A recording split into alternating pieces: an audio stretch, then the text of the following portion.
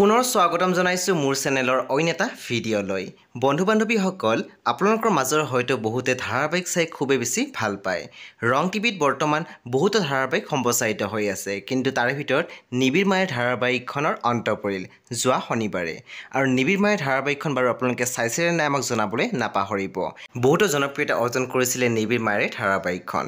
যিহেতু নিবিড় মায়েৰ ধাৰাবাহিকখন শেষ হ'ল সেই আপোনালোকৰ মাজলৈ ৰং টিভি আনি আছে আন এখন নতুন ধাৰাবাহিক। আজি নিশা আঠ বজাৰ পৰা আপোনালোকে চাবলৈ পাব ৰং টিভিত এখন নতুন ধাৰাবাহিক। আহিবলগীয়া নতুন ধাৰাবাহিকৰ নাম হৈছে বৃষ্টি। বৃষ্টি ধাৰাবাহিকত আপোনালোকে দেখিবলৈ পাব অভিনেত্ৰী দেৱাশ্ৰী গগৈ জনপ্ৰিয় অভিনেতা সিদ্ধাৰ্থ গোস্বামীকে ধৰি অসমৰ বহুতো অভিনেতা অভিনেত্ৰী আপোনালোকে দেখিবলৈ পাব এই নতুন ধাৰাবাহিকখনত। এই নতুন ধাৰাবাহিক অৰ্থাৎ বৃষ্টিখন আপোনালোকে চাবলৈ পাব আজি সাত আগষ্টৰ পৰা প্ৰতি সোমবাৰৰ পৰা শনিবাৰলৈকে নিশা আঠ বজাত। নিশ্চয় আপোনালোকে গম পাইছে যে নিবিড় মায়েৰ ধাৰাবাহিক অৰ্থাৎ আপোনালোকে চাবলৈ পাব আজিৰ পৰা নতুন ধাৰাবাহিক বৃষ্টি।